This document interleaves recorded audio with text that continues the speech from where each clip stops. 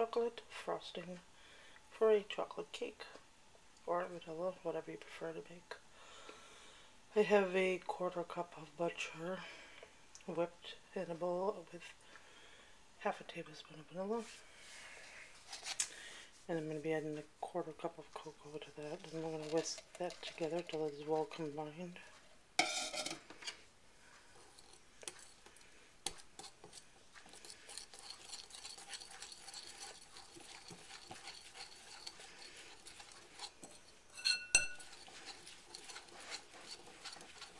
I'm going to add in a quarter cup of milk to that. Now we're going to whisk that together as well.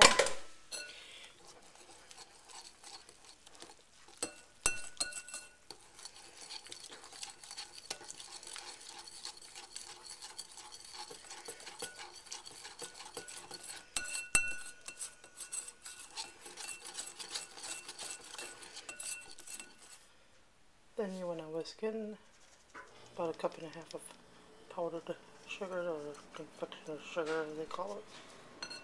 And once this is well combined, you're going to stick this in the fridge and let it set up.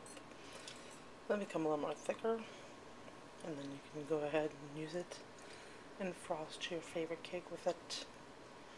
It is really delicious, very simple and easy, and it tastes way better than store-bought and stuff. Make sure you look for my recipe for chocolate cake. I'm going to use this to frost that. And you can see how it actually turns out. Thank you for watching. Make sure you like, comment, and subscribe. And have a great day. So smooth and creamy. See? And absolutely delicious. Please don't forget to like, comment, and subscribe. And have yourself a great day.